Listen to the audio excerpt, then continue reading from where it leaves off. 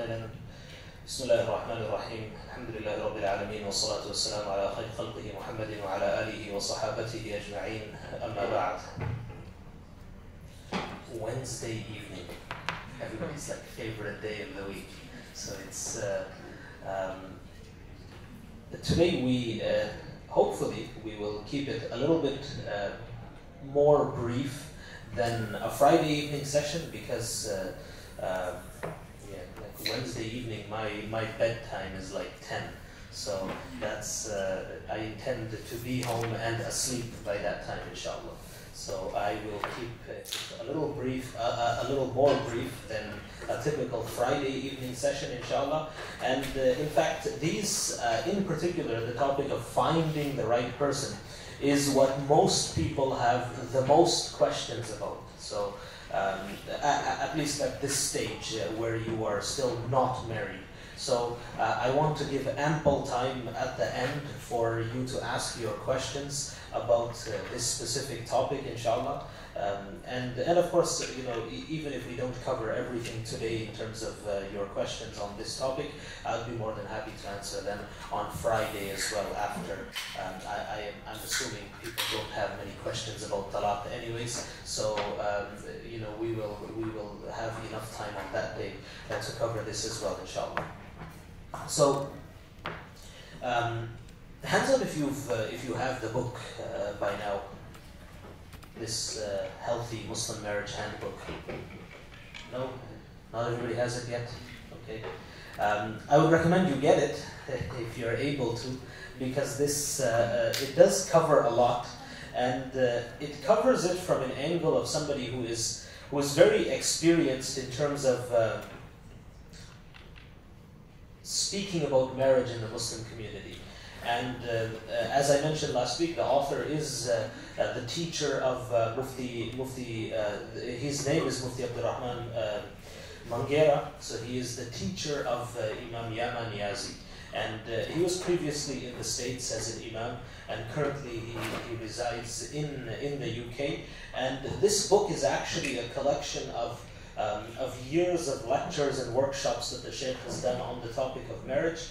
And uh, there are a lot of very uh, practical uh, elements inside the book uh, that he that he speaks about. So, if you've read uh, some of the chapters inside the book that uh, that pertain to the topics that we're discussing today, he mentions a lot of stories and a lot of things that that he encountered throughout his years as an imam and as a counselor. So, I would recommend that you get the book and that you that you read through it at least once, inshallah. So, this should not be the only book on marriage that you ever read but it is definitely a good start if you have never read um, anyone before.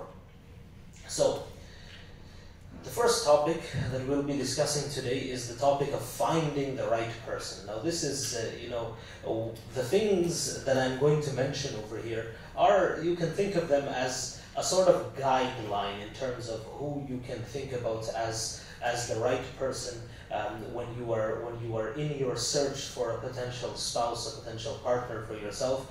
But this is not an exhaustive list, and neither can any list really be exhaustive. It's not really possible uh, to to sort of create a list of everything that uh, someone needs to have in order for you to marry them.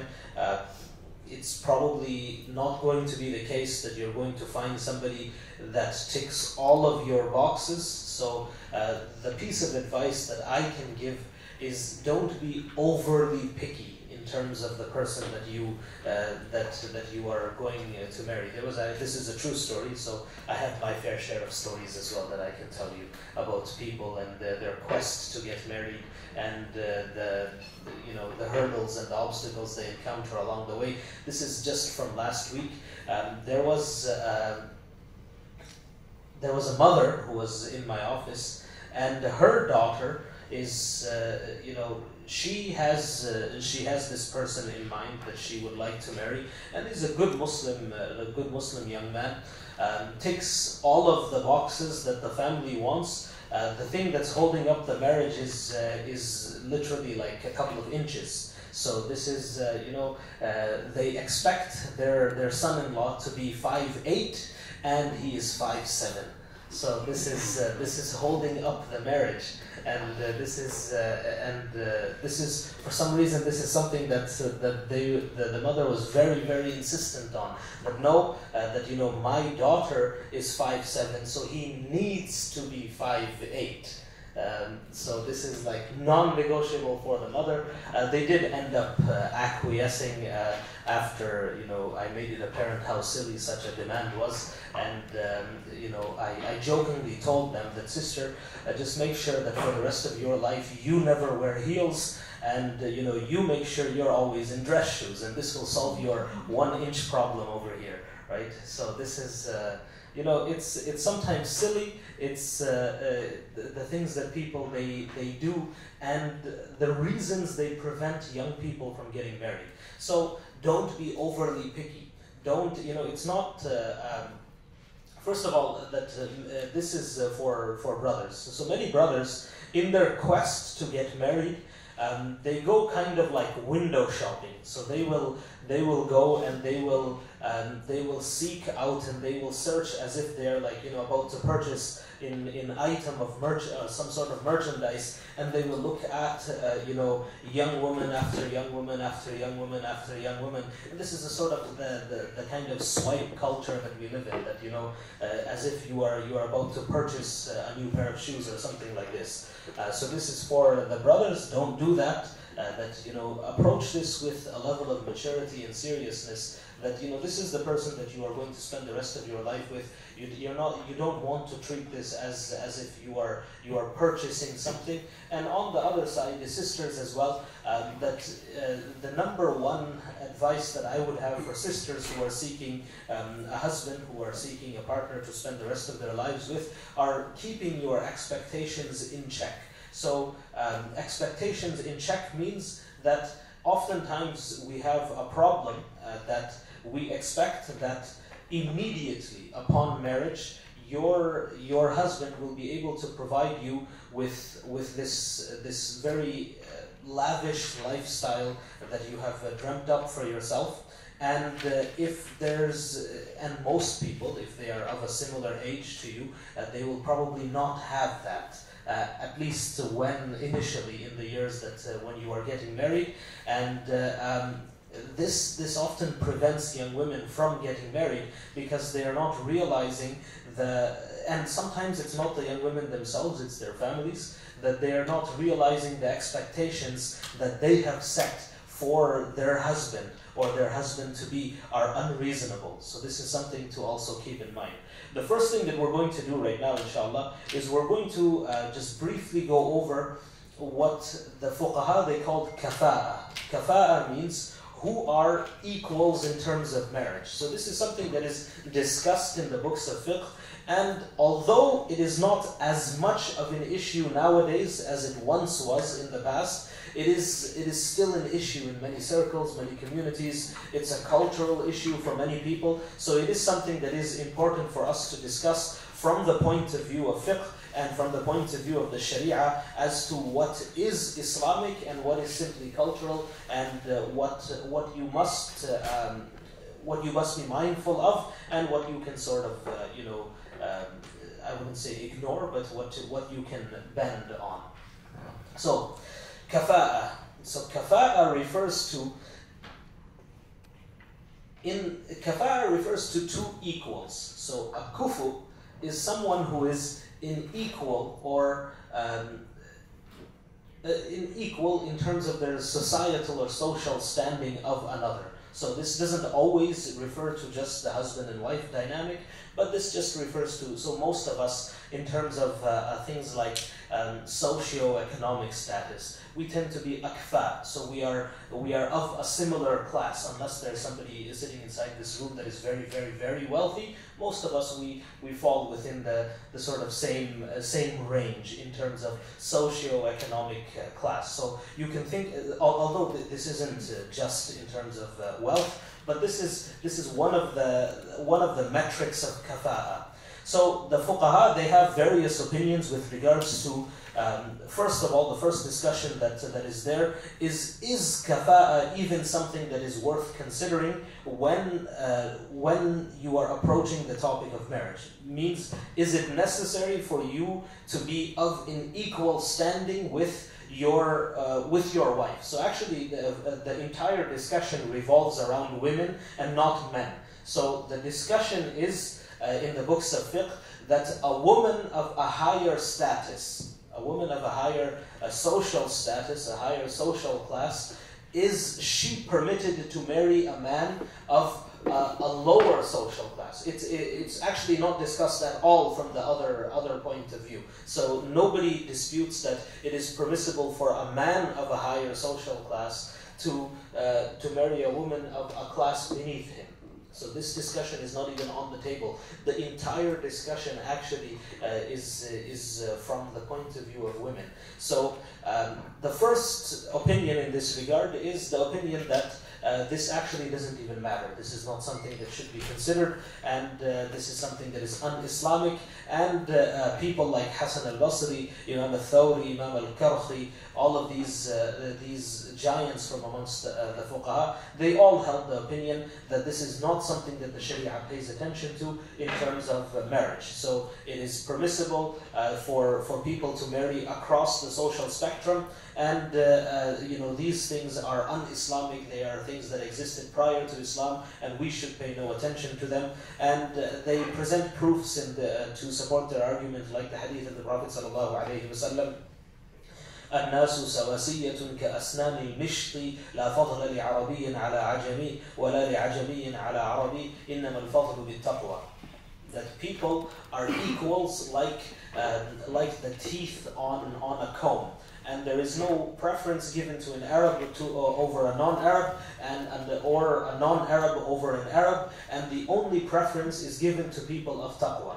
So this is, uh, in theory, this sounds great. However, this is the minority opinion. So this is not the opinion of the majority of scholars. The majority of scholars, including scholars of all four madhahib, they are actually of the opinion that kafa'ah is something that is given preference when it comes to um, when it comes to marriage, at least. So uh, they present in terms of their uh, their proofs. So there is a hadith of the Prophet sallallahu alaihi wasallam, and what kafa'a means, and what uh, what are the um, the metrics of kafa we will discuss in, in a moment. But uh, the, the hadith of the Prophet sallallahu alaihi wasallam, where the Prophet sallallahu alaihi wasallam says, ثلاث لا تؤخر, the three things when they approach, they are not to be delayed. الصلاة إذا أتت, when the time of salah comes to perform the salah. Uh, وَالْجَنَازَةُ إِذَا حَضَرَتْ That when the janazah, when, the, when a person dies and the janazah is present, you should not unduly delay the janazah. And the final thing is وَالْأَيِّمُ إِذَا وُجِدَتْ لَهَا كُفْءًا That the unmarried woman, when um, when her equal is found, when her equal match is found. So the word kufr is actually used in the hadith, and this is narrated by Imam Tirmidhi rahimahullah. So this is proof number one. Um, the hadith of Jabir radiallahu ta'ala anhu, لا تنكح النساء إلا الأكفاء that do not marry off your women except to those who are their equals. So this is again another hadith of the Prophet sallallahu alaihi wasallam narrated by uh, Dar Qutni among others. and the hadith of Aisha radiallahu ta'ala anha, where she says, وَأَنْكِحُ الْأَكْفَاءَ and get married to your equals. And this is also, um, uh, the, this is narrated by Imam Zayla'i rahimahullah in, uh, in Nasb al-Raya. And there are other ahadith as well, so, but you get the picture. So according to the majority of scholars, kafa'a is something that we do pay attention to, at least in terms of marriage. Now, from a logical point of view, this makes sense that in terms of uh, in marriage. So if people um, and in particular, again, this entire discussion revolves around women finding their equals from men.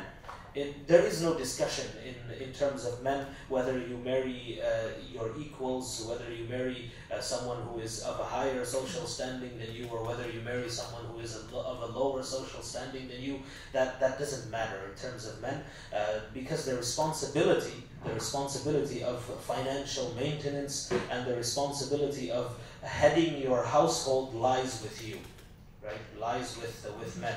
Um, the reason that this is paid attention to when it comes to women is because, um, in terms of just from a logical point of view, if a woman is married to somebody who is of a lower social standing than her, so she comes from a household where she expects a certain lifestyle, for example. So let's say we are talking just uh, from the point of view of wealth. So she comes from a, wealthy household, uh, she's uh, accustomed to a certain lifestyle, and if she were to marry someone that is that is of a lower social standing than her, then he will, by all the realistic means, he will not be able to provide her the kind of lifestyle that she is accustomed to and the kind of lifestyle that she deserves, because this is this is the, the, the kind of lifestyle that she, she grew up in.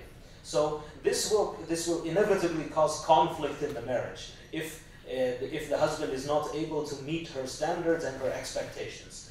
Uh, reason number two is because this is also a matter of, uh, of the honor of the families. So families will feel dishonored if a woman from uh, a respected family is so like uh, in terms of uh, the books of fiqh. So they use um, they use words like sharifa and khasis. So this is I'm not sure how exactly you would translate that in terms of uh, in the English language. Sharifa means a woman of nobility, and Khasis means um, you know the guy who sticks around uh, street corners, right? So that's that's what a Khasis is in terms of uh, just the, Arabic language.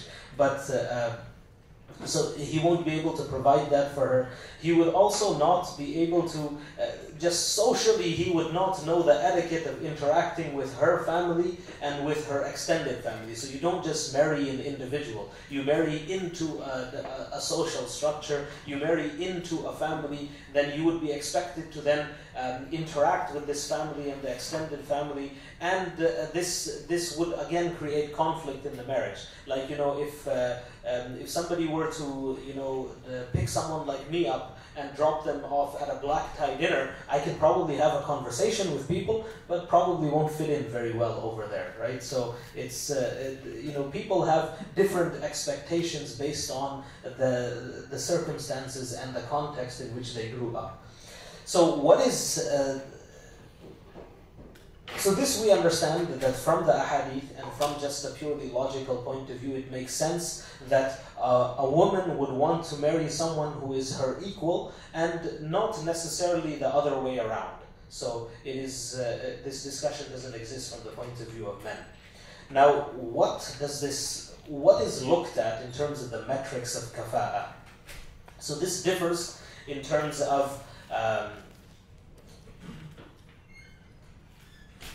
in terms of the, the, the different schools. So, what is agreed upon is a few things. So, number one is kafa'ah in terms of her deen.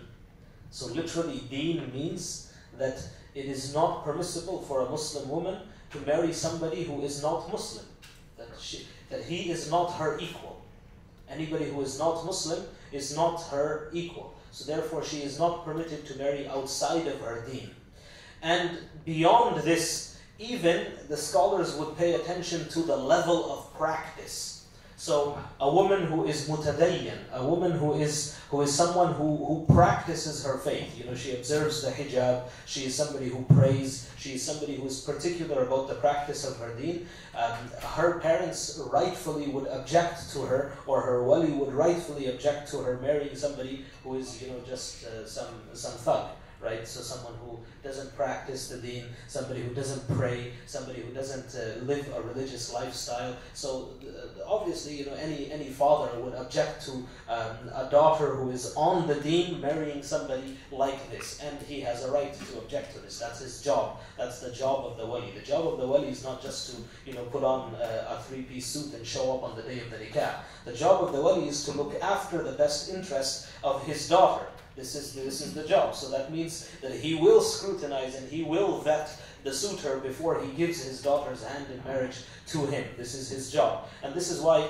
um, so uh, we don't give wilaya to a non-Muslim uh, over a Muslim woman. And this is in the case of a convert woman, her wali is, uh, is the imam So is the imam means if she lives in a Muslim country, then the, the authority, the state would uh, would act as her wali. And in the in the case of uh, us here in the West, usually the imam would mean like uh, a, a, respected religious figure within the community is is who will act as her wali.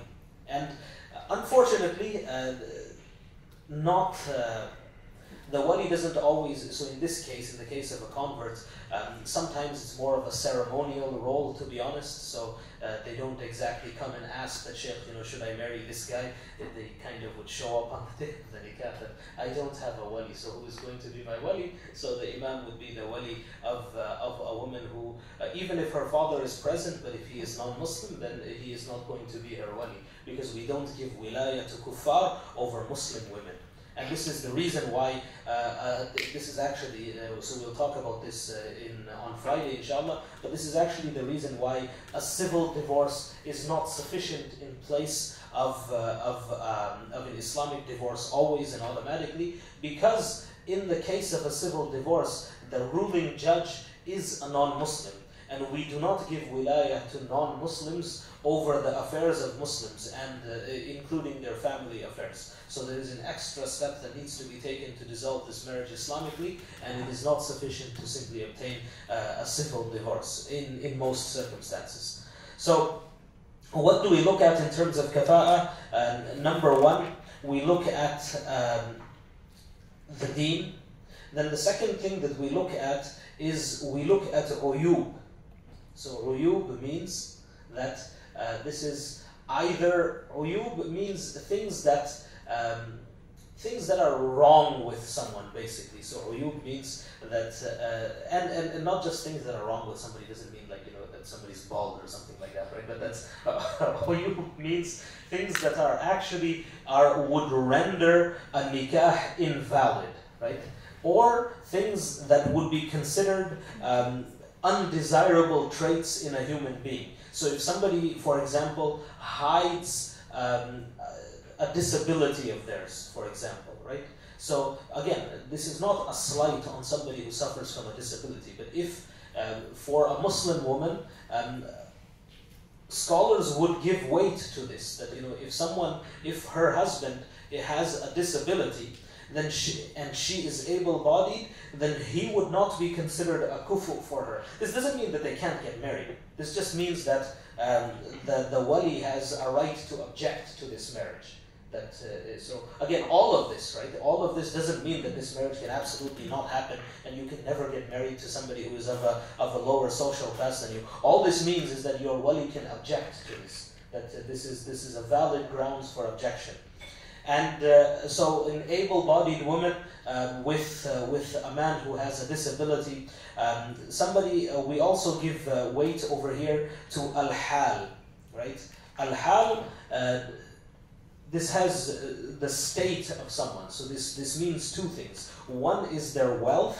So if someone is, if there is a disparity in terms of um, their their financial standing in society, if you, for lack of better words, that one comes from wealth and the other is that doesn't come from wealth. So if there is a disparity in this, then this is also something that the wali has a right to object to this. So if the woman says that I want to marry so and so, and she is from a very wealthy family, and uh, her father has the right to object to this because she he is not her equal. Again, this is. Uh, um, this doesn't mean that he should object by none of these reasons means that he should always automatically object. We're just talking about the letter of the law, that he has a right to object. And the last thing over here is hasab.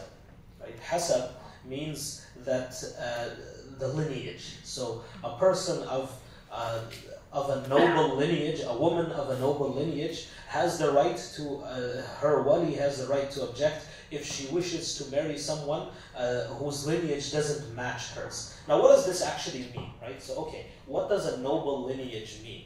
So, a noble lineage means, so there are hadith of the Prophet wasallam, where uh, the Prophet wasallam says, Al-Arabu kulluhum akfa, that Arabs are all um, are all akfa, they are all equals for each other. So uh, in terms of lineage, we are not exactly talking about you know the nobility of your ancestors and you know so and so fought in World War One and you know so and so liberated Pakistan or you know whatever this is. That's that's not what we're talking about in terms of uh, in terms of lineage. Um, scholars discuss things like if somebody uh, so if somebody was born outside of wedlock, right? So uh, technically, this uh, although it's not that person's fault that they were born out of wedlock, but this person is termed walad zina in in the Sharia. That this is this child is a result of zina. This uh, this child was conceived and born out of wedlock. So this this child, uh, male or female, cannot be considered the equivalent for a person who was born out of a halal marriage. So. Um, for for a woman, her wali has the right to object if the man that she intends to marry is was born out of wedlock. Um, the scholars they also mention over here that if a woman, uh, eh, sorry, if a man, right, if a man has non-Muslim parents, non-Muslim. So again, the entire discussion is one one-dimensional here. So it's always from the point of view of the woman's family, not the point of view of the men's family because men tend to be independent in their social standing and it's not exactly attached to uh, that of your father or that of the rest of your family. Whereas women traditionally their social standing is attached to that of their parents that of their family and the family that she marries into.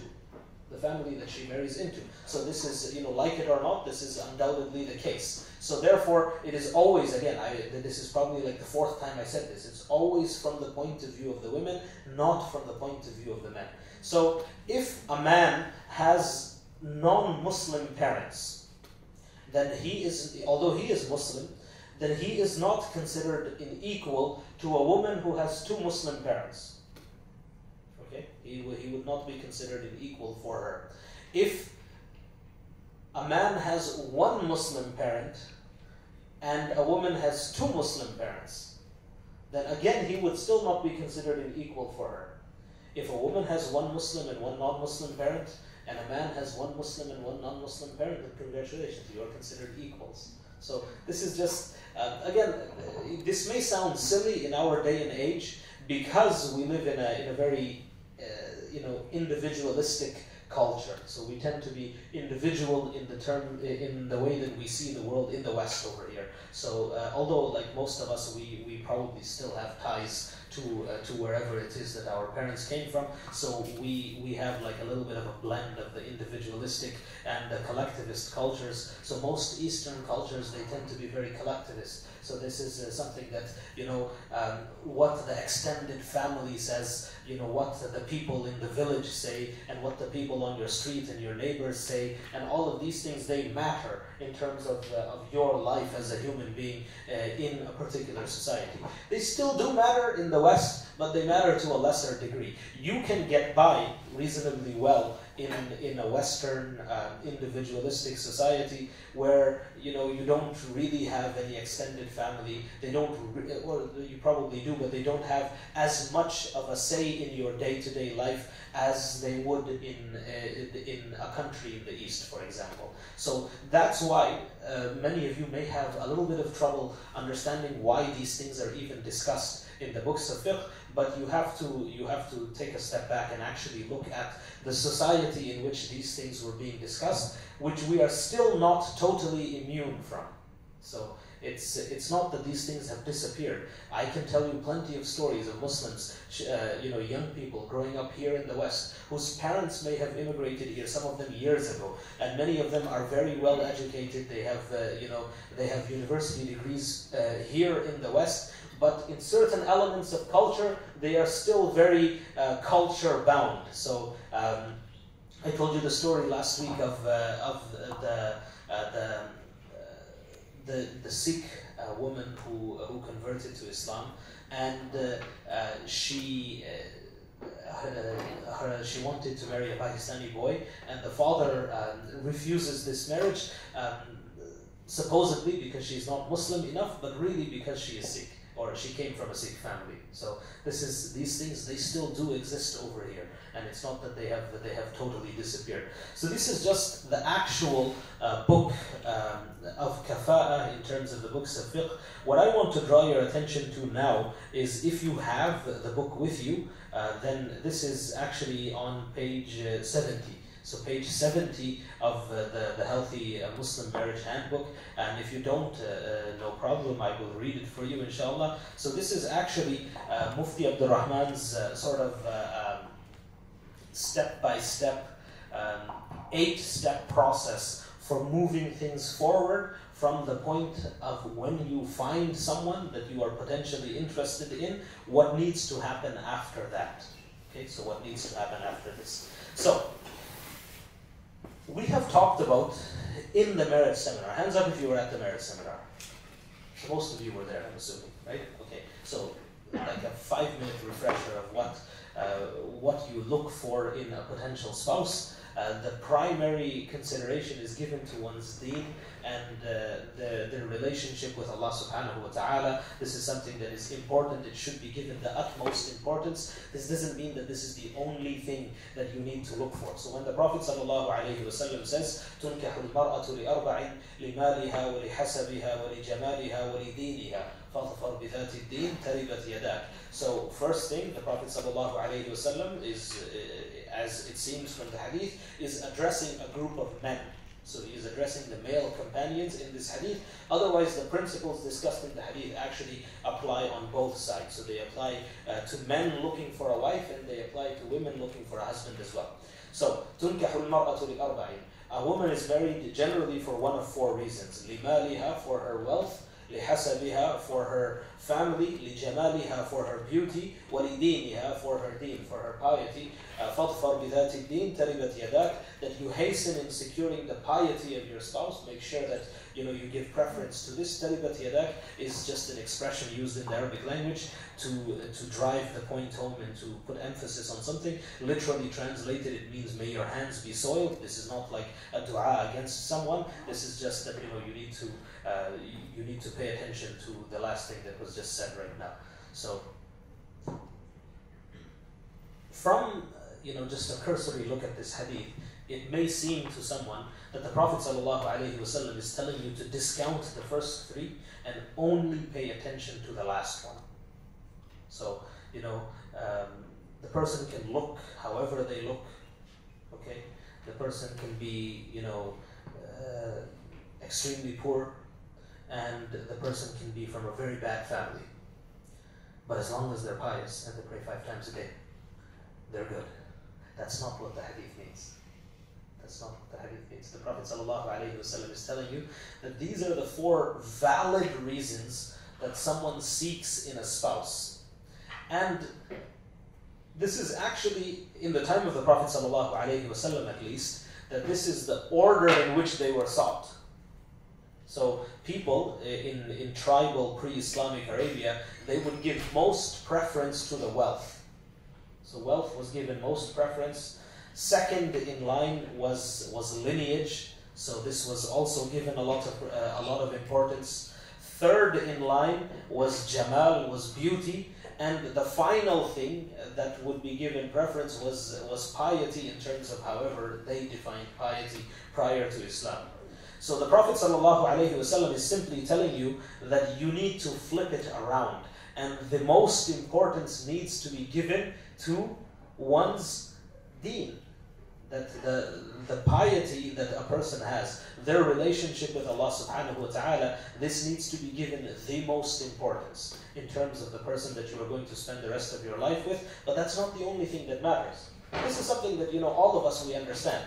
Now, many, uh, you know, overzealous young people, right, they look at this hadith and they will see that the Prophet ﷺ says, that you know piety is the only thing that you need to look for. Therefore, you know I'm not even going to look at anything else. This would be a flawed and incorrect approach. So it is important that your your spouse, the person that uh, you know your your future husband or your future wife, is somebody who you find attractive. This is, now again, beauty is something that is subjective.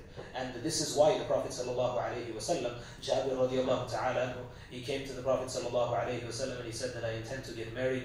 And he asked him, have you seen her? And he said, no. What did the Prophet sallallahu alayhi wasallam say? That go and see her. Go and see her. Go and look at her. فَإِنَّهُ أَحْرَى أَن يُؤْدَمَ بَيْنَكُمَا That this is more likely to make sure that your union is a lasting one. So, and we talked about this in, in, in some detail last week as to what you can and cannot see. What you can and cannot see. And for those of you who forgot this or who couldn't remember, you can only see what is permissible for you to see means that, uh, you know, for, for uh, so technically speaking, uh, you know, for women, it's, it's, uh, you can see everything except the aura. So the aura for men is between the navel to the knee, and the aura for women is the entire body except the face, hands, and feet.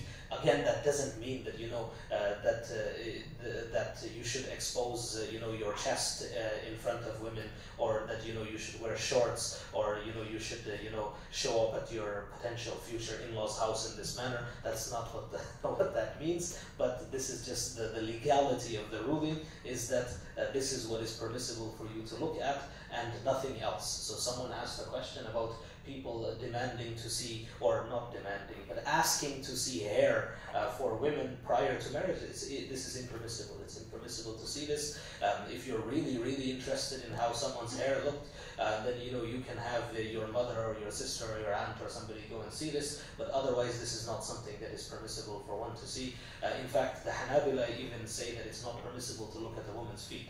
You know, what are you going to do looking at her feet? Right? So you know, you came to see her face, see her face, and? So that's it. In the Hanbali school, and they don't even consider it permissible to look at a woman's feet, just the face, right? Um, so this is now beauty is also something that is important, right? So it is important, and again, in the overzealous nature of many young people, they don't give enough importance to this, right?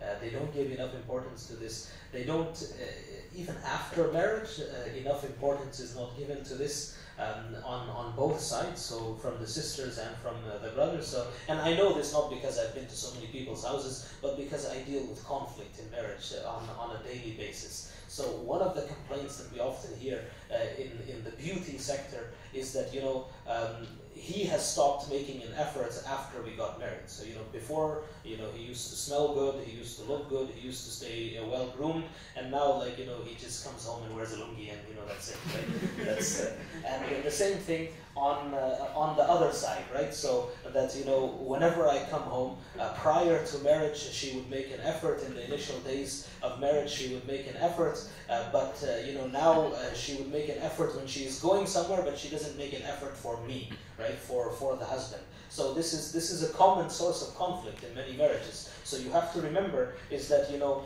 um, attraction, physical attraction. This is this is uh, this is something that is important uh, prior to marriage, and this is something that is important uh, even after marriage.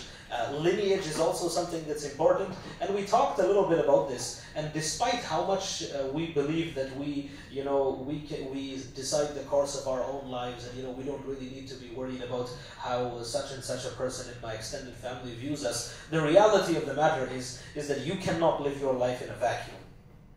So. Um, you will at some point interact with your extended family her extended family, and in order to live, uh, you know, a sane, functioning life, this is encouraged. That you know, you are encouraged to participate in in societal activities. You are encouraged to participate in the affairs of your family and your extended family, and this is, uh, you know, this uh, the, and um, believe me that once you have children, right? Once you have children, then uh, the more family you have to support you, the better. And you you will you will uh, you know if you don't believe it now you will thank me when you do right? That the more family you have the the better. The more uh, family in, it takes it's it's quite literally true that it takes a village to raise a child so this village you know if you have your village you don't want to cut yourself off from them so that also means that you don't want to even before you get married you don't want to do something you don't want to marry a person that your family is not going to accept so if you know this, then I know at that time it's going to feel like this is the last person in the world that is going to come along, and if you don't marry her or if you don't marry him, then you know you're going to stay single until Yawm al Qiyamah. But that's not going to happen, right? That's uh, you know realistically, this is not the, the last person in the world, and if this doesn't work out, if you see uh, red flags in this in this potential scenario, and your parents are not going to be happy, and your family is not going to be happy, and you know your life is going to be miserable and difficult, then this is something that you probably don't want to pursue. You probably don't want to pursue. It, it's going to be difficult at that time, uh, especially if you you know if you are. Uh, uh, you know, if you are in love with this person, but you know, it's it's as with anything, it's going to fade with time, and you have to be realistic about the way that you're going to spend the rest of your life. So lineage is also something that is important even in today's day and age, and you have to make sure. So it's not that it's uh, you know I advise against marrying outside of your culture, and uh, you know realistically, right? Realistically, there is no ethnicity that we have enough of for them to sort of survive and thrive just by marrying within themselves here in the West. So um, there are not enough of us. So you know there are not enough Pakistanis, there are not enough Arabs, there are not enough Indians, there are not and not enough Bengalis. There you know that that's just not going to happen. That uh, so there are going to be cross-cultural marriages, and many families are okay with this. Many families they don't mind this. Some families they may mind this uh, you know. Uh, so you need to judge and you need to make mashwara with your elders uh, with a trusted friend uh, a local imam someone who is familiar uh, with uh, you can lay your sort of situation out in front of them and they will advise you whether for you in your current circumstance this is a good idea or this is not a good idea. So it's not always a good idea and at the same time it's not always a bad idea okay um, so his sort of eight step process. So now, once you have sort of uh, found the person that, uh, that you intend to pursue marriage with, so the first thing is before making uh, number one, before making any contact, do some research if you can to find out about the person and their family.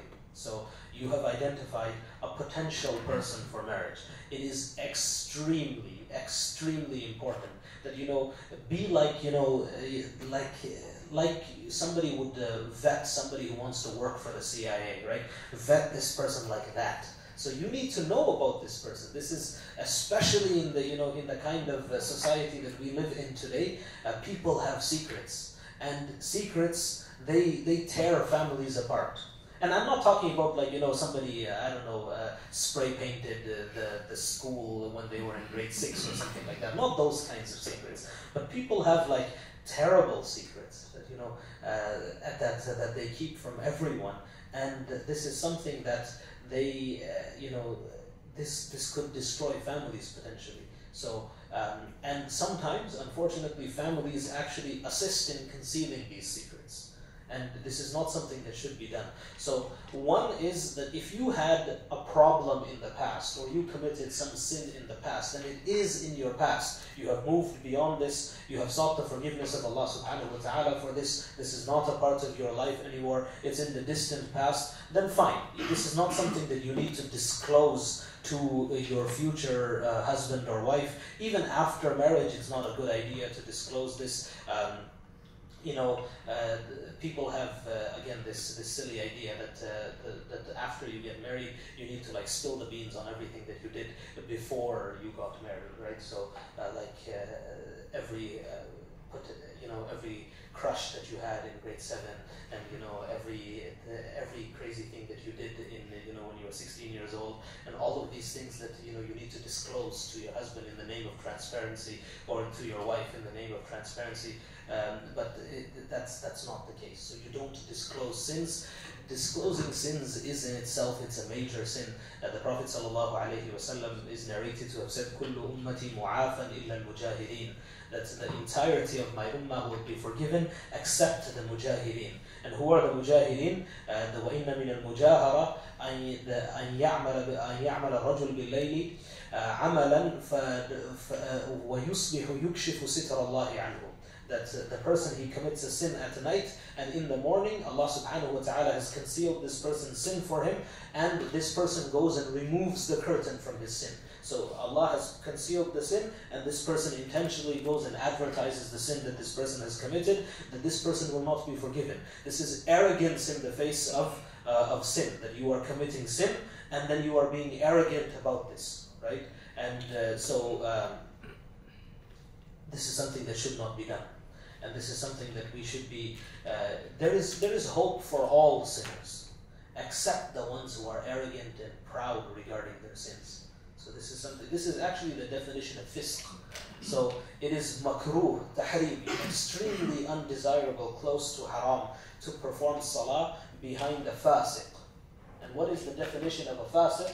A fasiq is somebody who openly sins. Everybody sins, but this is a person who openly sins, who openly disobeys Allah subhanahu wa ta'ala.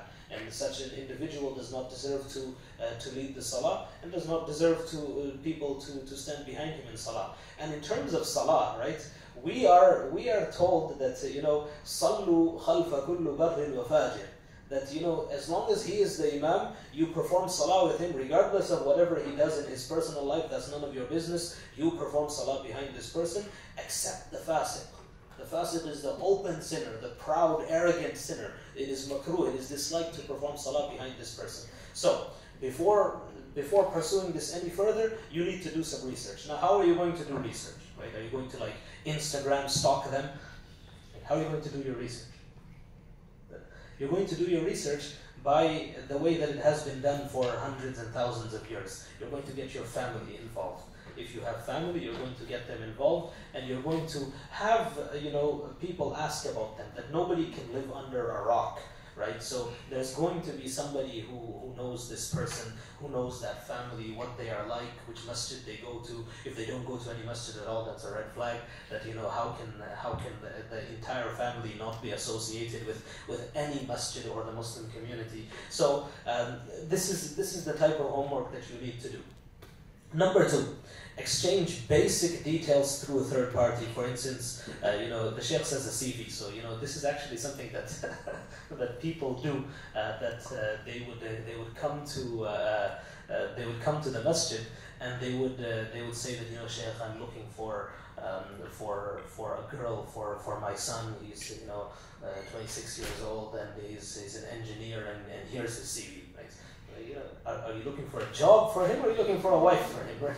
That's, this is uh, this is uh, you know so I think what the sheikh means by a CV is just general details regarding someone that who they are, how many sisters they have, how many brothers they have, uh, where they were born, how old they are. Uh, th- these types of details uh, should be exchanged with this person through a third party. So again, uh, you know, like if you recall Imam Yahya's example of uh, you know receiving a letter in third grade, don't do that, right? So don't pass details uh, like this. you know, it is it is bad etiquette to do this. Um, so you need to do this through a trusted third party. So preferably a family member. In the absence of a family member, I understand that many of you uh, you may be studying here, you may not have family over here. Um, so you can do this through some other trusted third party. So brothers do this with brothers, and sisters do this with sisters. It's not that you know. So you know, if uh, um, usually married couples, this works best with. So if someone intend, if someone is intending to get married, um, the, uh, the, the brother is interested in, in uh, a sister, then they would simply give, uh, you know, pass on this information to a brother who is married, and that brother's wife can then initiate contact. So there is an etiquette and way of doing these things. Number three is seek advice and counsel, mashwara with your family and perhaps teachers and trusted friends. That is this even a good idea? Sometimes, like right off the bat, people will say this is an absolutely terrible idea for you to uh, get married to such a person and you should not pursue this any further. And be open minded in listening to this advice. So, the entire purpose of seeking advice from someone is that you're going to act on that advice. If you're going to go and seek advice from, you know, every sheikh in the province, but then at the end of the day you're just going to do whatever you want, then why, why did you go and waste your time and all of their time? So, uh, if you, you know, the, the, the etiquette of seeking mashwara is that you are doing this sincerely. You sincerely go and seek counsel and then you act on that counsel. Okay? And number four, ask Allah through the istikhara prayer. So this is important that even before, so a lot of people, when do they perform istikhara? Okay, so they have already introduced themselves to the family. They have already, you know, they have all but like set a date for the wedding, and then they said, oh yeah, you know, I should maybe perform istikhara as well, right? So, no, that istikhara is seeking guidance from Allah subhanahu wa ta'ala before you become emotionally invested in something. So you're not going to see clearly once you become emotionally invested in something. That if you if you have found that you know this is the person that I'm going to marry and inshallah you know my life is going to look like you know um, a fairy tale and this is uh, this is where I'm going to live and this is how many kids I'm going to have and this is you know the, this is the kind of house that I'm going to live in and uh, this this that and the other thing. And now you know let's perform istikhara. So you have you have already uh, you know, istikhara is seeking guidance from Allah subhanahu wa ta'ala, and you need to do this at the initial stage. The initial stage prior to things getting serious. And uh, Sheikh mentions elsewhere in his book that until your actual nikah is done, that you are rationally invested, but you are not emotionally invested. Okay? This is, this is actually very, uh, you know, uh, I read this sentence many times, and it's, it's actually something that's, that's a very beautiful piece of advice that until you are actually married, your nikah is actually done, that you know you are you know you are in the in the eyes of Allah subhanahu wa ta'ala, you are husband and wife, you remain rationally invested in the process. Obviously, if you're not invested in the process, then it's not going to work. But you remain emotionally aloof. So again, two things. Rationally invested, emotionally aloof. You do not become emotionally entangled with someone, it's haram if you can't do this until you are actually married to that person. So this is something that's important. So perform the istikhara. How do you perform istikhara? Istikhara is very simple. People make it very, very difficult. Uh, first of all, you should be performing your own istikhara. Um, that it's uh, I know in some cultures it's uh, it's uh, accustomed to sort of go to the sheikh or the imam of the masjid and uh, you know um, give them some mitai and ask them to perform istikhara. You don't do that. You perform your own istikhara. Istikhara is you seeking guidance from Allah subhanahu wa ta'ala. We always appreciate the mitai, but we're not going to do istikhara for you, inshallah. So this is uh, uh, it's you just perform two rakat salah uh, preferably at night. And uh, you can really do it at any time, but the reason we, we suggest performing it at night is because you tend to have a clearer mind at night. And uh, then you know you, you are you are settling down for the day, and you you just make wudu, perform salatul isha, perform two salatul istikhara, and then make the dua. And uh, it is preferable that you use the dua that's mentioned in the sunnah. اللهم إني أستخيرك بعلمك وأستقدرك بقدرتك وأسألك من فضلك العظيم فإنك تقدر ولا أقدر وتعلم ولا أعلم وأنت علام الغيوب اللهم إن كنت تعلم أن هذا الأمر خير لي في ديني ومعاشي وعاقبة أمري فاقدره لي ويسره لي ثم بارك لي فيه وإن كنت تعلم أن هذا الأمر شر لي في ديني ومعاشي وعاقبة أمري فاصرفه عني واصرفني عنه واقدر لي الخير حيث كنت وارضني به. So this is the, the masnoon dua for istikhara. So you should make it, uh, you know, first of all, like um, a lot of people, this is like the one and only time they perform istikhara in their entire life, is when they want to get married. Okay? So istikhara is not something that is a once in a lifetime thing. Istikhara should come before any major decision that you make in your life. So, you know, which school you're going to go to, perform istikhara if you have uh, more than one option. Which job you're going to take, perform istikhara. Uh, you know, which city you're going to move to, perform istikhara. Who you're going to get married to, perform istikhara. Which, uh, which school you want your children to attend, perform istikhara. All of these things, you know, the, uh, wherever you have options, you seek the guidance uh, from Allah subhanahu wa ta'ala and there will be so much khair and barakah in your life. This is a guarantee that if you if you follow guidance that is coming from Allah Subhanahu wa Taala, then there's you know it's not that your life is guaranteed to be easy. Nobody's life is easy. Everybody has challenges that they have in their life, but you will have uh, uh, you will have a sense of contentment that okay, you know this what I am doing here, this was the result of my istikhara. Okay, so you perform istikhara. Istikhara is performed like this. Um, you should uh, try and memorize this dua because you're going to use it many, many times over the course of your life. Um, and even if you don't memorize the dua, then just making the dua that, oh Allah, I'm seeking your guidance in this matter. I have these options in front of me. Uh, allow me to choose in the, uh, the, the, uh, the option that is most beneficial for, so this is the gist of the istikhara dua that I'm translating for you. Allow me to choose the option that is most beneficial for me in this world and in terms of my akhirah and whatever that is, make it easy for me and facilitate that for me. And uh, if this, what I am considering, is, is what is good for me, then allow me to continue in this path and make it easy for me and remove the obstacles. And if this is bad for me in terms of my, my life in this world and uh, my life in the akhirah, then make it go away from me and may it turn me away from it and allow me to remain upon the good uh, for as long as I live and allow me to remain content with this. So, you know, what a powerful dua. What a powerful dua. That you are first asking for guidance and in the same dua, you are asking that if this is if this is what is good for you, then this is this is the path that you remain on. And if this is what is bad for you, then the, the path closes. And you are happy with this path either opening or closing. So whatever the case is. And this is, uh, you know, this, this is something that um, I can tell you from personal experience time and again in my life, that it's not always that the result of the istikhara is going to be the easy route, but it's going to be the right one. It's going to be the right one. So it's there, there's no guarantee. It's not written anywhere in the hadith that you know whatever uh, the result of the istikhara is, this is going to be the easiest thing that you ever do in your life. But it's going to be the right thing for you. And the right thing for you uh, might not be the right thing for someone else. Like for example, like you know, uh, two guys. Uh, so uh, you know, you perform istikhara uh, regarding uh, a certain young woman and it comes a no for you, and then your friend performs it and it comes a yes for him. So that's great, right? That, that doesn't mean like you know there's there's because it's not that there's something wrong with her. It's just that your situation will not work out, right? So this is this is also something that uh, the, because people do this sometimes, like oh. You, you want to get married to her or you want to get married to him, don't do that. I did istikhara and it was bad. It was bad for you.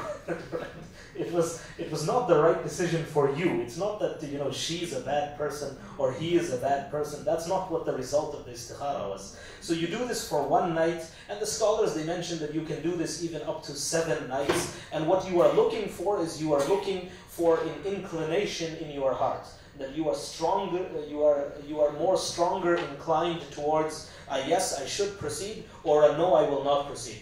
This could come in the form of a dream, but it's not necessary that it's always a dream. Okay.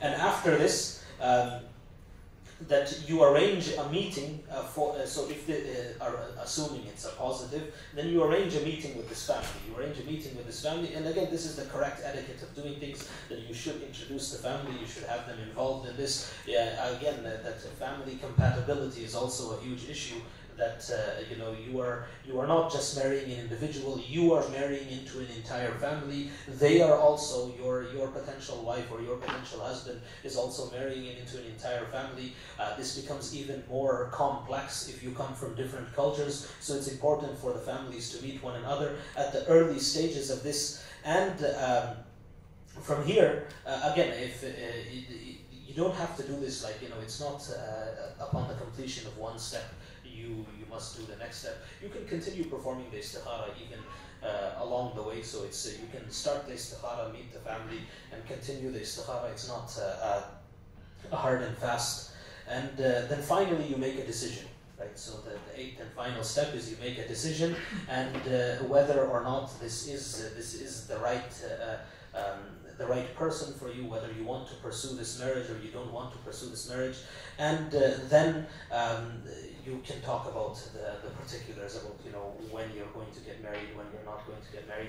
Um, now after this, so after what, so this is what we would call what we talked about last week, the khitbah. So this is like um, there's no such thing as like an uh, engagement uh, Islamically, but this is uh, the Islamic equivalent of an engagement is the khitbah. This is the proposal or the offer of marriage that is being made. Is uh, this is what's happening over here? Now even after this, it's important for because there is no such thing as an Islamic uh, Islamic dating, but it is important for this this young man and this young woman to have some sort of understanding uh, with each other about who they are and what kind of person this is, especially in today's day and age.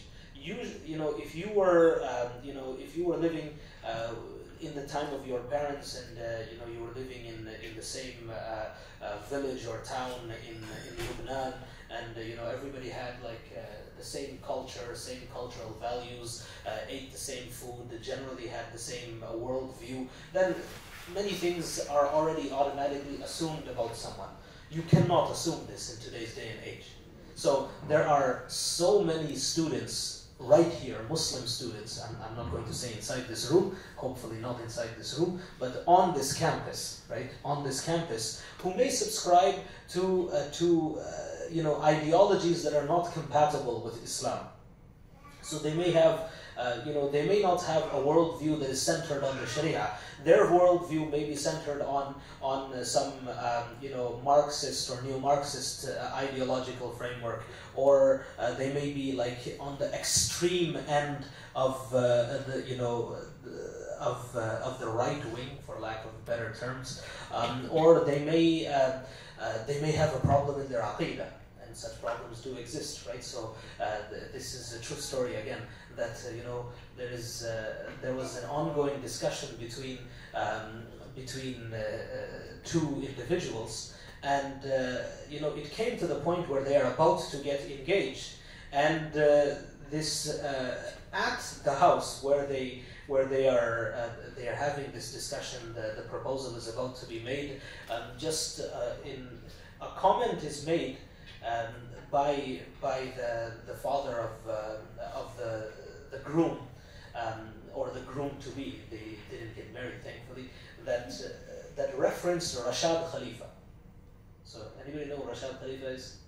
Rashad Khalifa is uh, is is a dubious figure uh, um, that that started a movement that's based on numerology and uh, uh, they would pass themselves off as Muslim, but uh, you know their their aqidah is corrupt in this regard. So uh, you know this is by all other metrics, this is a good family. But uh, you know, had they married their daughter into this family, uh, this you know, I'm not sure what kind of religious upbringing these children would have. So these are even these things are things that are important to consider in today's day and age. That not everybody that's, that looks Muslim and that has a Muslim name may subscribe to the same same belief uh, frame, uh, uh same beliefs as you, right? Um, quite often people come to the masjid and they, they ask to have nikahs performed with Ismailis. And so the Ismailis, um, in, in our older books of Aqidah, they are referred to as the Batiniya. So these are people who are uh, who substra- who who uh, in the, so these are the guys that follow the Aga Khan, right? Um, so they uh, we don't consider them to be Muslim. Right? So the, the fact is that we don't consider them to be Muslim, we consider them to be outside of the fold of Islam, and for the simple reason is that they um, they believe in, in, in, an esoteric version of, uh, of Islam that gives uh, more weight to you know being a good person and you know being a good person inside and Jannah and Jahannam are not actually things. Uh, they are just you know a state of mind and a state of being. And uh, the Aga Khan has the ultimate right to tashri'ah so he can change the laws of Allah subhanahu wa ta'ala which he has done. So they you know if you know anything about them they don't pray five times a day. They only pray twice a day. Uh, there's uh, their zakat is not 2.5% it's 10% um, for them interest is permissible, um, uh, is permissible, alcohol. So, the, the, and this is because the Aga Khan said so. So obviously you cannot, uh, anybody who believes this is not considered a Muslim. Um, in Pakistan, uh, there is, uh, there is uh, an ongoing issue. Um, so Pakistan is the one country in the world where Qadianis are, are by, by law, they are not considered Muslim and they cannot call themselves that. So that much we have going for, uh, for Pakistan right? But uh, but apart from that, they do they do try to pass themselves on, um, uh, you know. And uh, you know, I, I love uh, my Pakistani brothers and sisters. I'm not Pakistani though, right? So uh, this. Uh, um, in the Western world, they do try to pass themselves off as Muslim, right? They, they would try to pass themselves off as Muslim, but they are not. Anybody who believes in a Nabi after the Prophet ﷺ cannot by any means be called Muslim. Yet, you know, they are they are here, they are in the community, they would try and infiltrate our masajid every now and then.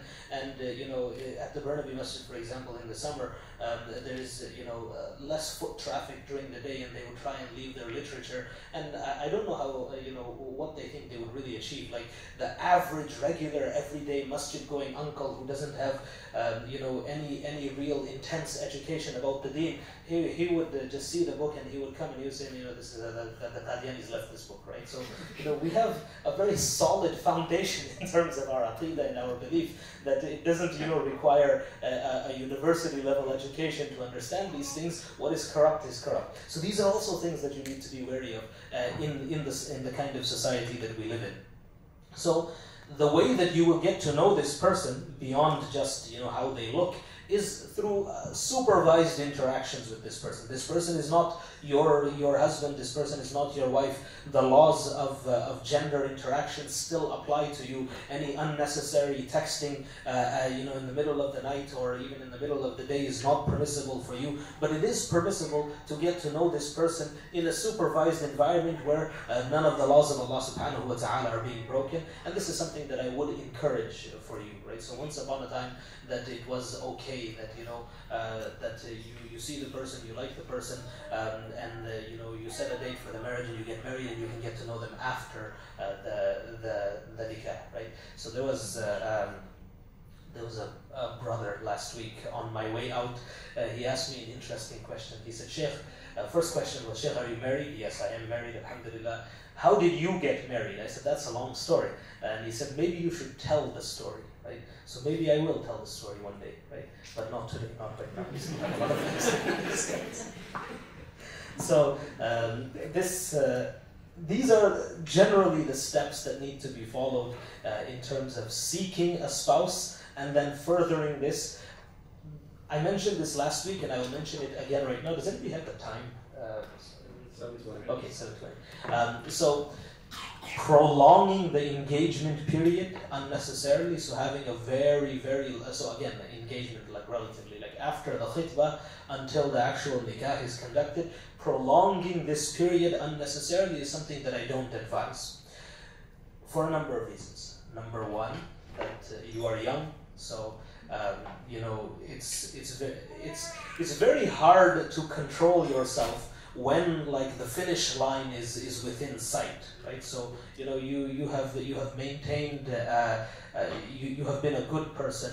Uh, you have uh, you know maintained following the rules all throughout high school all throughout your university education but now you're engaged right? So now like you know you're going to get married to this person. So you know shaitan gets the better of you. You begin texting inappropriate things to one another. Um, text is notorious for like you know um, for not being a very uh, comprehensive means of communication. Like some people, the way they text, you can't really like interpret what what's going on in this person's mind, right? Like you know, some people, the standard response to any text that you send them is okay, right? Like you know that you know there's there's there's, there's a fire in the SFU, okay, right? So there's like there's a lot that that can be misinterpreted in in a text, right? So uh, then this leads to misunderstandings between people. This leads to you know this leads to all sorts of crazy problems. So don't prolong this unnecessarily. Uh, you don't have to immediately like move in and start a family right after your nikah. So if for some reason this this period needs to be prolonged, then at least have a nikah at least have a nikah, have the nikah, not like a secret basement nikah, but like a real nikah, right? Like, you know, that, you know, a'linun nikah, that you make i'lan of the nikah, there are witnesses, people in the community know, so that, you know, if once in a while you, you want to go somewhere with this person, you want to have dinner with this person without a chaperone, um, you know, you want to, to communicate with this person, then this is okay, this is permissible, because you are now married to this person, uh, you don't have to, like, uh, uh move in together, uh, different communities, different uh, cultures have different words that, that, are, that are for um, uh, the, the like official starting of someone's life together after the nikah, like you know officially moving in together and uh, officially starting your life. So uh, like um, whatever you call it in your particular culture, that doesn't need to happen immediately. You can still have a nikah if this period needs to be prolonged. Ideally, you just, you know, you, you're engaged um, within a matter of a couple of months, you should have uh, the nikah and you should start the rest of your life. There's no, there's no reason to prolong this unnecessarily. But if there is a reason, then this is the way that it should be done, inshallah. And uh, you can convince your parents this. A lot of parents they have these uh, these expectations in terms of you know what the nikah will look like, what the marriage will look like, and they are coordinating you know 600 different people's schedules from you know five different continents, and they're waiting for all of them to arrive in in our beautiful province before the nikah can go ahead. Um, so that you know unless they're able to do that within a couple of months, uh, at least the nikah should be done so that uh, you know this this becomes a permissible um, interaction between these two individuals. So this is uh, just the part about um, finding somebody. Of course, we're also meant to talk about maintaining a marriage. So in terms of maintaining a marriage, what do you think that the main obstacle um, to to uh, to a why do marriages fall apart? Let's let's ask it that way. So I see a lot of you are getting tired, so I'm going to ask you this question: Why do marriages fall apart? Any ideas? Families. Expectations. Lack of compromise. Expectations. Yes. Money issues. Lack of commu- mm-hmm. communication. Lack of communication. Okay. Rights are not fulfilled. Rights are not fulfilled. Okay. Yes. Cultural issues or misunderstanding between different cultures. Misunderstandings. Okay. Anything else? Yes. Promises aren't kept. Promises aren't kept. Okay. Yes. Lack of adventure. Lack of adventure. okay. So, in my experience, the number one reason marriages fail is actually because of a lack of effective communication. So, if you think that you're going to get married and you're never going to, to fight, right? So, like, you're in for a very, very rude surprise once you get married. So, every marriage has conflict. It is impossible that somebody is married and they do they, they've never had a fight or they've never had a conflict and voices have never been raised and they've never had a disagreement with theirs anybody who's been married for like five minutes knows that you know you're, you're going to not always agree with your spouse right so this is the issue comes when this disagreement or this conflict is not managed correctly okay and all of the things that you just mentioned to me right now all of them can be fixed if the communication is done effectively. So, what our problem is, right, what our problem is, is that we actually don't know how to communicate effectively. And there's also a gender gap here that the way women communicate is not the way men communicate, and the way men communicate is not the way women communicate. So, it is also important for the husband to understand from the point of view of a woman how she communicates, and it's also important for uh, a woman to understand from the point of view of a wife how a man communicates. So it's not that you will communicate in the other way, but it's just that you, for the sake of understanding, you you understand how the other gender communicates because they are very different. They, they are very, very different in terms of the way that one communicates. So, and again, this is like, you know, uh, oftentimes people will say, but oh, you know, but I don't do that, right? Okay, so this is like a general rule, right? So a general thing that um, obviously some men are more expressive uh, than, than others, and some women are, are more assertive than others, but generally speaking, generally speaking, men, they tend to be problem avoiders. So, you know, they would rather just not talk about something than, than have to deal with it at all, right? So this is generally speaking, right? So they would rather, you know, so like uh, they would rather uh, not, not, you know, it, it's not that they don't understand that there is an issue here, right? There is something that needs to be talked about. It's just that they would rather not talk about it, generally speaking. And women, on the other hand, generally speaking, they are more expressive. They, they, Allah subhanahu wa ta'ala created them in this manner.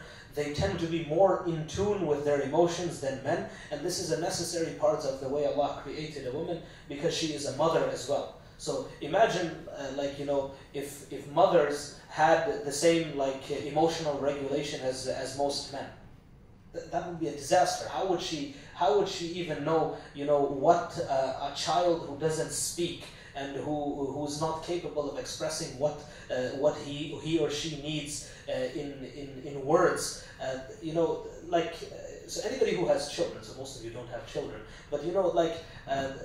I can give you uh, like an example uh, that I have, alhamdulillah, two children. So they can be crying in front of me, and I would have absolutely no idea what it is that they need, right? So you know, I can try to give them some food, I can try to give them this, I can try to give them that, but in reality, and my wife can walk in the room, and in 30 seconds, uh, the child is, is like one, doesn't speak yet, right? But she knows what, what this child needs. So emotional regulation, not emotional regulation, but being in tune with one's emotions is, is something that Allah subhanahu wa ta'ala has, has, has created uh, in, in women and men generally they lack this. Again, this is not like, you know, uh, just a black and white thing. Some men are better at it than others. So in terms of how you communicate, so the, the, the medium of communication for most sane adults is what? How are you supposed to communicate? You're supposed to talk about things, right? So now, how are you going to talk about something? How are you going to talk about something? So, I am a mediator, okay? So, what we do when two parties come into the room, and this is something that you can use even outside of marriage, this is something that you can use uh, in your day to day life, in any interaction, but especially when it comes to husband and wife, this is something that you can use. So um, there are two things. That one is what we would call the issue, and this usually comes in the form of like a statement. Okay, this is this is the issue. So the issue, for for example, that you know, um, the issue is that you don't come home on time. Okay, this is the complaint that the wife is making regarding her husband, and his issue is that you know, um, you don't cook for me. Okay? So again, both of these are statements. So this is this is his issue. Now, it's impossible to resolve someone's issue. So yes, you can say that, okay, you know what, from tomorrow you come home at 9 o'clock, and from tomorrow you start cooking, right? Congratulations, we've solved the problem, right? Wrong. That problem has not been solved. So usually people, they are, uh, and this, this is across the spectrum, both men and women, they are very bad so what they are expressing in terms of their issue, there is actually something what we would call the interest that underlies that issue. Okay? So you can think of this as like an iceberg. So the majority of that iceberg is actually underwater, and those are the interests that underlie the issues. So why does so a woman who says to her husband that you don't come home on time, okay? So this is this is her issue. So the solution to this issue would be that you just come home on time. But that's not automatically going to fix what she wants.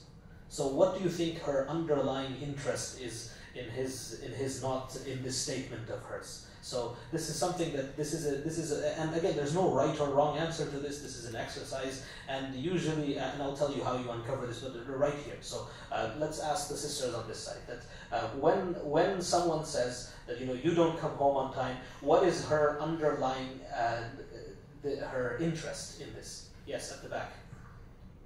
I was going to say that maybe she feels like um, he's not necessarily like um, communicating and like he's kind of just like disregarding. Uh, but basically, he's, he's kind of just going ahead with his life without informing her or making her feel like Okay. she's a part of the day. Yes. Uh, yes. Um, I think the underlying issue is lack of quality Interest. time. So the underlying would be the interest. The Okay. issue is that Oh, he doesn't sorry, come the home on issue, time. like the issue here is that there's not enough quality time. It's not about him coming home on time. It's about spending more quality time with, with my Okay. Yes. It basically means that I miss you. And Okay. I miss you. Yes. Not giving her ground. Not giving help. Okay. So uh, a lot of these things are also issues. So interests are usually framed in terms of needs. So uh, most of you have probably heard of uh, Maslow's hierarchy of needs. So those are like the very bare bones essential things that people need in terms of uh, fulfillment in their life. But there are there are obviously other things. So you can think of uh, interests as unmet needs. So when the husband doesn't come home on time, what is the unmet need from the wife that she is voicing in in this this in the form of this issue or this statement that you know you don't come home on time? So that that may help you. Yes. If you're not informing me when you're gonna be home. Okay, so uh, in in one word, what would the what would the interest be there? Why does she want to be informed? Attention. So security is is an interest of of someone that a sense of security, um, a sense of uh, being valued, appreciated. All of these things are things that are lacking um, when someone voices this this issue. So it's not that she expects him always, right, the, uh, to come home at uh, at nine o'clock. She's missing something else, and this is being voiced in in this in this manner that you know you don't come home on time. Now again, that uh, the brothers, right? So when someone says, uh, you know, in in the course of conflict that you don't cook for me, right? Or so what is the the underlying interest? What is the need that is not being met here? Yes, at the back. You don't love me? Okay, and uh, what else? Sorry.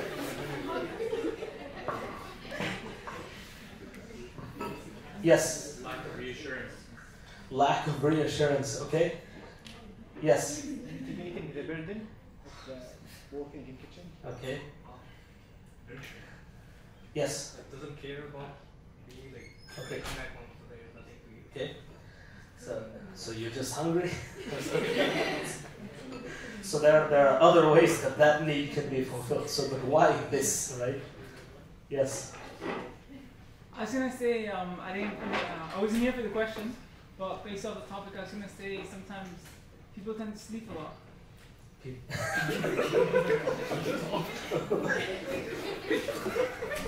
I'm just going to pretend I didn't. so usually for men, it's actually fairly simple, right? Fairly simple. That um, so. In general, men tend to be a lot more black and white than, than women. So there's not like uh, a whole lot of uh, emotions that uh, it's not that they're not there, but they tend to uh, they tend to be very easily categorized into like you know he's either hungry, thirsty, angry, mad, or happy. Right? That's so. Uh, but generally speaking, the underlying interest for most men in whatever complaint they are making, the overwhelming majority of the time is that he feels that he doesn't get the respect that he ex- he was expecting. Okay, so it's not that he expects you to cook every day necessarily, unless he does, but it's that he feels disrespected, and that is coming out in this uh, in this. He's voicing it this way that you don't cook for me, and he probably has uh, a list of other things that you don't do, and he's not concentrating at that time. Uh, although it's not that he doesn't understand, he doesn't acknowledge the things that you do do, but his his unmet need here most of the time for most men the chief need in a marriage for most men is what? Is respect. And the chief need this is not the only need the chief need for a woman in marriage is what? The chief need for a woman in marriage is what i'm not going to say it because security is the chief need for a woman in marriage because this is someone who is leaving their entire household where they grew up, their parents, their siblings, and they're moving into an entirely different household. The chief need of women in marriage is security. And the second is what? Affection and love. And this is a need on both both sides. So respect comes first for men, security usually comes first for women, and second on both of their radars is love. Now, the way that one expresses love is also, uh, or doesn't express love, is also a source of conflict in many people's marriage. So many uh, many brothers, uh, you know, when when their wives would complain of lack of affection, they would bring out a list of things that they had they have done in the recent past that in their minds shows that they they love their wife and they they wish to so, show affection to her. And when uh, brothers, when husbands bring about this this this in the course of mediation, um, then the wife would then uh, you know say a whole bunch of things that she believes that in her view is the way that she has expressed in the recent past her love for her husband. There's a problem here. Does anybody know the problem? Yes. There are five love languages, so the way you Perfect. give love is not the way that you might want to So today, I took the burden of carrying a whole bunch of books here for for you to see and for you to eventually read, hopefully, inshallah. So these are all books that I would recommend that all young people read, and this some of them are about marriage, most of them are about communication.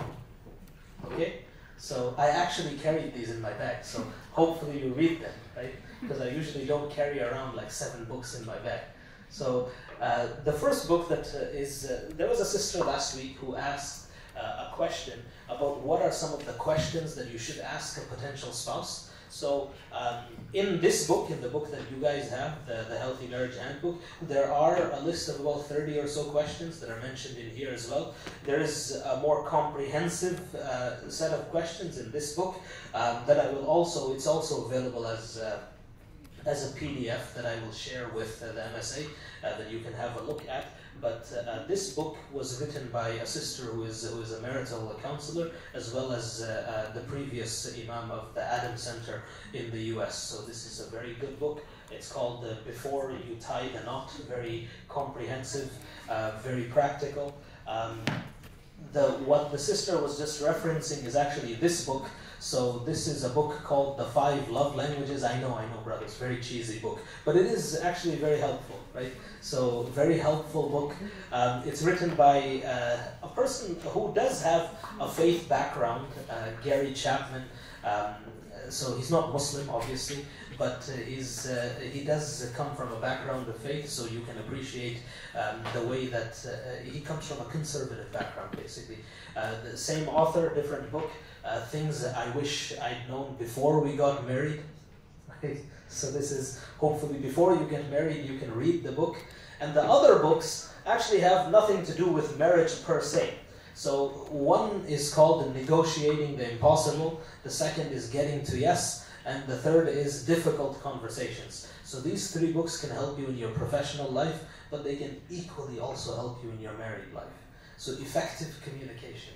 So all problems can potentially be solved as long as they are they are spoken of effectively and the communication is is constructive. So fighting is not bad, conflict is not bad, but conflict must be constructive. So there should be something that you gain from conflict, and you're not just tearing each other down each time you fight.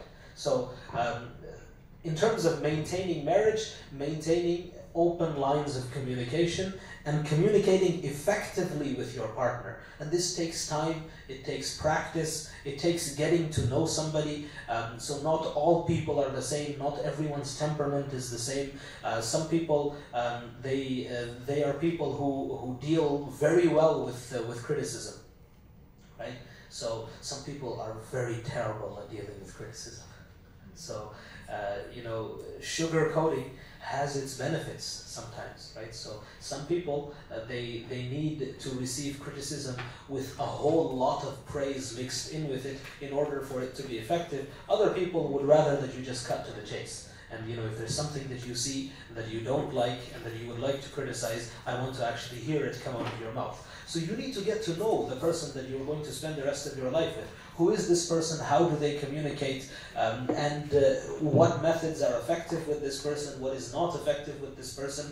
There is, um, you know, there is there is a category of people uh, that uh, um, eh, that we call high conflict individuals. So these are people who, who are who are prone to conflict. These are people who don't do conflict very well. These are people who um, you know, and and they're usually very like so. It's not just in marriage that they would have conflict.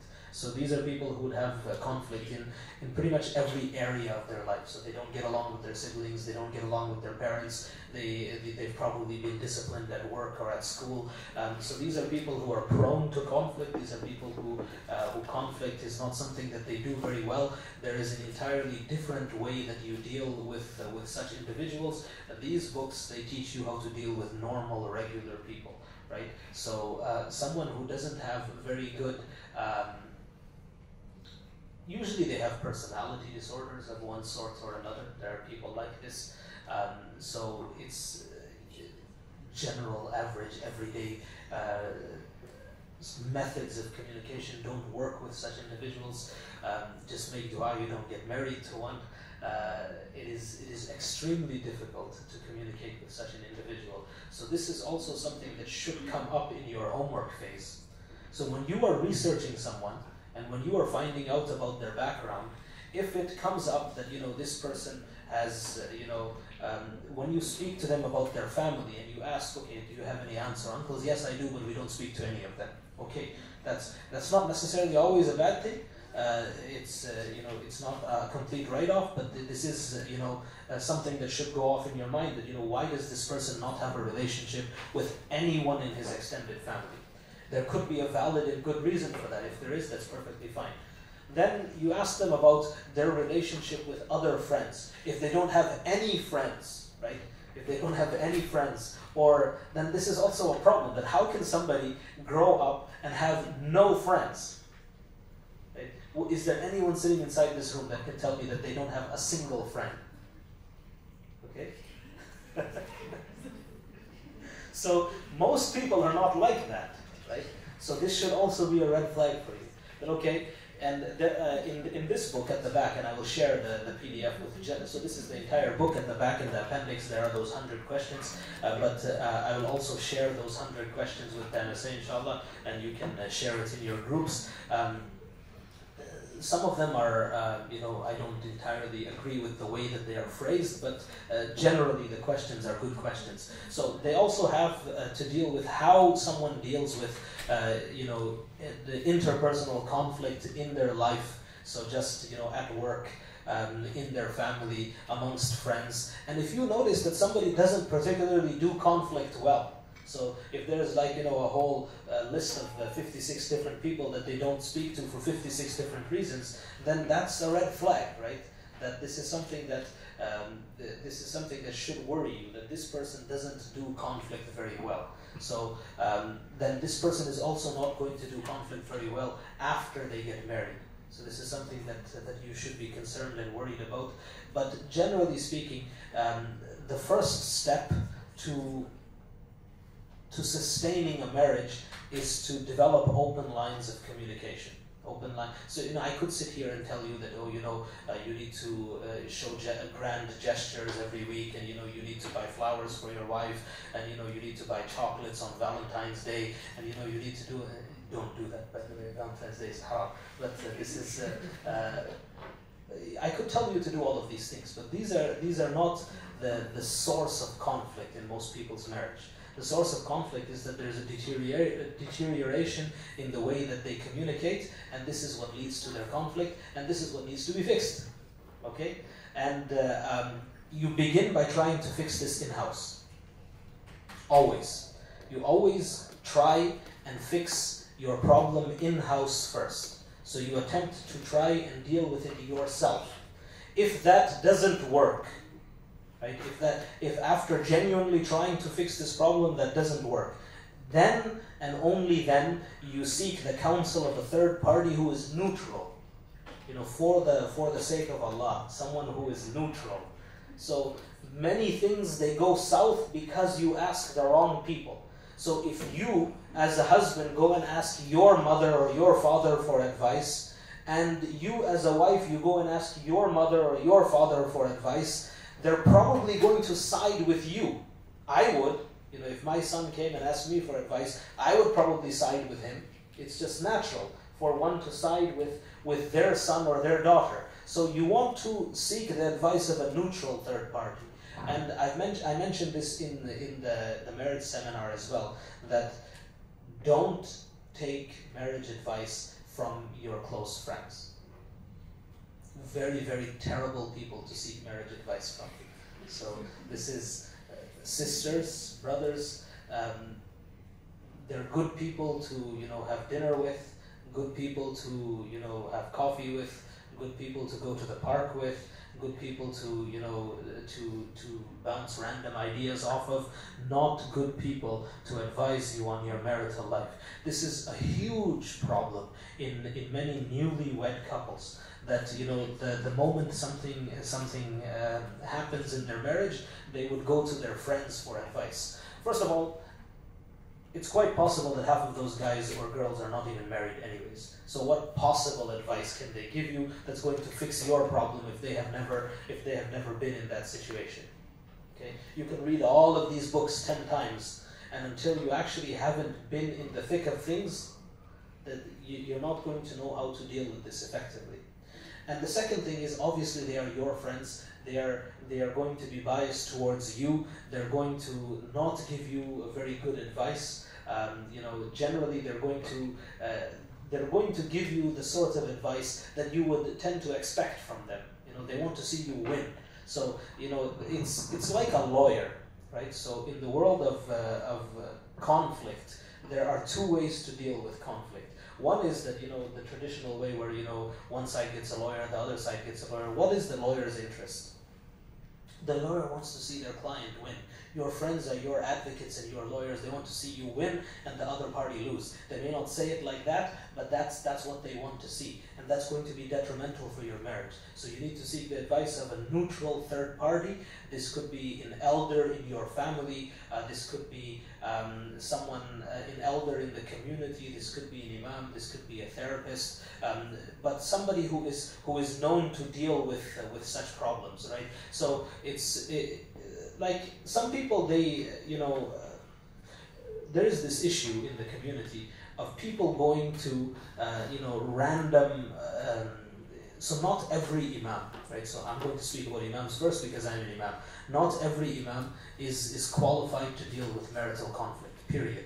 So if you go to them and you seek their advice, they may be able to give you a hadith or two about marital conflict, but they will not be able to help you deal with your conflict because this is not this is not something that they are trained in this is not something that they are experienced in and this is not the person that you should ask. You should ask this person how to correct your tajweed you should ask this person about the Quran and Sunnah and you should ask about all of these things. Um, if this person is not the person who has experience and training in dealing with marital conflict this is not the person that you should ask that for.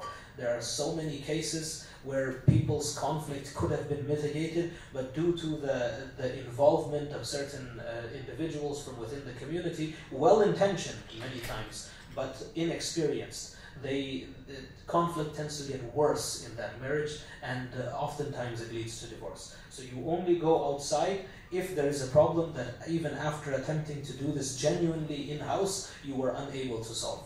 And after this, inshallah, uh, next week we will be, uh, sorry, not next week, in like two days, on Friday, uh, we will be talking about the final topic on this, um, in this course, and that is the topic of talaq, uh, in particular as it pertains to Muslims living in the West, inshallah. So there are obviously the Shari'i rulings of divorce, and uh, it becomes a little more complicated when you when you pair those with uh, um, the civil laws of, of this country um, or this province. So how the, the interplay between these two things is what we will be focusing on on, on Friday, inshallah.